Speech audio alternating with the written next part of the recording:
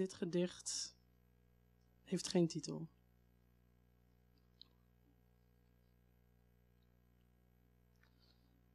Een kerkelijke begrafenis.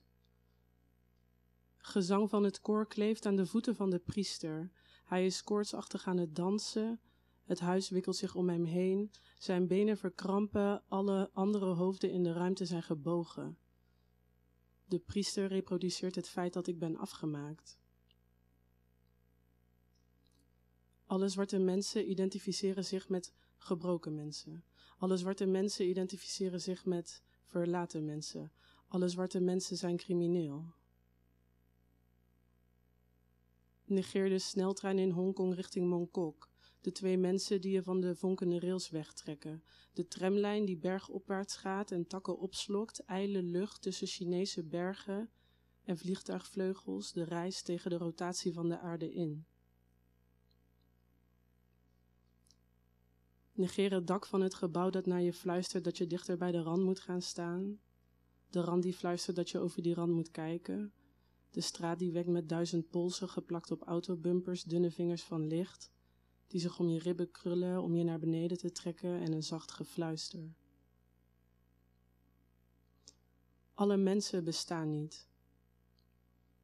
Alle zwarte mensen identificeren zich met verlaten mensen en alle zwarte mensen bestaan niet. Negeer enorme, strakstaande blaren op je buik achter in de auto, krijzend van de pijn op weg terug naar Nederland, want onderweg zijn, je ziel verplaatsen, is accepteren dat je tijdelijk niet bestaat en dus bestaat de pijn ook niet. Dat hoorde ik. Mijn lichaam zwelt langzaam op en wordt zwaarder. Vergeet de eerste keer dat je je beseft dat je niet meer van de bank naar de wc kan lopen. De tien verdwenen kilo's na een half jaar op bed. De Olympisch kampioen figuurschaatsen die over je beeldscherm zwabbert terwijl jij in een bak plast.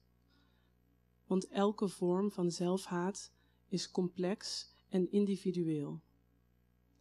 Alle zwarte mensen bestaan niet. Alle zwarte mensen is een combinatie van woorden die bij je tanden begint als zich als uiterst rekbare latex langzaam over je lichaam trekt tot het ademloos en krakend op de grond ligt, ontdaan van iedere vorm van menselijkheid. Het is een dunne laag, maar hij maakt mij onherkenbaar, onleefbaar, steeds boller en zwaarder, een volle emmer water in het midden van een zwembad. Vergeet heel 2005. Vergeet het mes van 2009, vergeet de auto's in Napels en de slagtanden van hun bestuurders. De Somalische tassenverkoper in Rome, die verscheen en weer verdween. De muzikant in Montpellier, die naar het geboortedorp van je vader leek te ruiken. En de vrouw in de supermarkt, die zich langs je moeders borst boog en keihard in je wang kneep. Vergeet de druk van het aardse leven op je boskas om vier uur ochtends zwetend van een onherleidbare angst, terwijl minuten als spinnen over je lichaam kruipen.